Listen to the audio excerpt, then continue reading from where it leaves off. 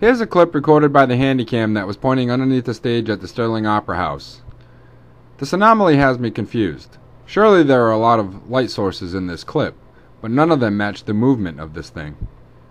And that wall all the way on the right hand side of the screen, that's a solid wall with a hole punched through it at about my head level.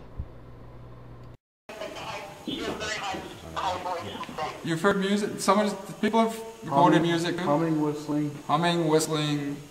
uh, we've got uh, EVPs. Now I'll play that in slow motion.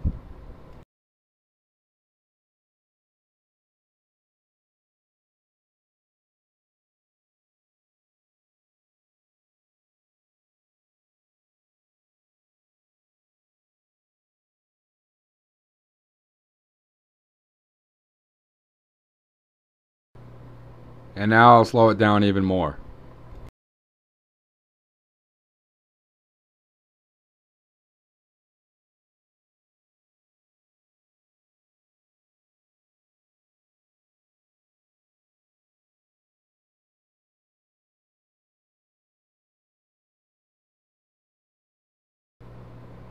We can't really see how this could be one of our flashlights as this thing appears to come from under the stage, through the hole in the wall, down the front of the wall, and then across the front doing a loop.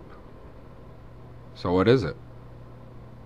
Thank you to Rich DiCarlo and the Sterling Opera House in Derby, Connecticut.